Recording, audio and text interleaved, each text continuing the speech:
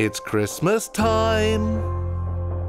There's no need for us to be afraid.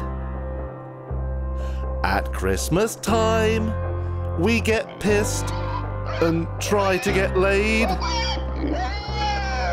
And from our continent of plenty, let's spread some festive cheer. Raise your middle finger to the world. It's bombing time.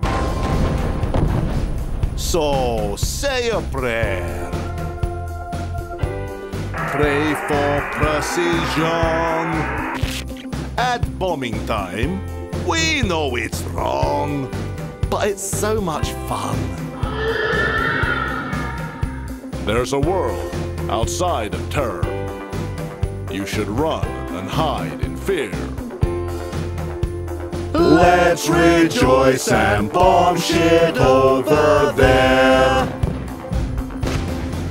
So there will be bombs in Syria this Christmas time.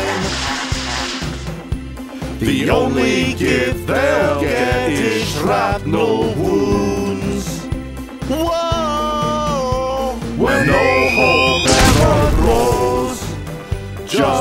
Bombs and missiles flow. Let's show them